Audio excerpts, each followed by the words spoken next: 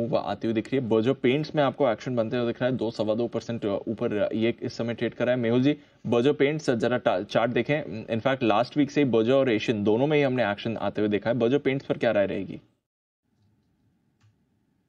दीपांशु, काफ़ी अच्छा लग रहा है। बर्जर पेंट भी एशियन पेंट भी बर्जर पेंट की बात करें, फ़िलहाल तो 650 550 के ऊपर अगर ये निकलता है तो और थोड़ा अपसाइड देखने मिल सकता है। ओवरऑल 580 से 590 तक की अपसाइड जगह है। इसमें ओवरऑल डाउन साइड देखे तो 520 के करीब मैक्सिमम हो सकता है। तो 520 के स्टॉप लॉस इसमें बने रहना चाहिए। इनफैक्ट एशियन पेंट भी और ज़्यादा अच्छा लग रहा है। यहाँ पर एशियन पेंट 30 50 के आसपास है। इसमें भी इकतीस सौ इकतीस सौ पचास तक की तेज़ी दिखाई दे रही है। साथ ही साथ एक अपडेट आइनॉक्स विंड दीपांशु तकरीबन नौ नौ परसेंट ऊपर है आज। हम्म तो आइनॉक्स विंड जो रेकमेंड भी किया था मेल जी ने, उस पर भी रखे नज़र। 195 के टारगेट दिए थे। 190 का अभी अभी हाई इस काउंटर ने बनाया है।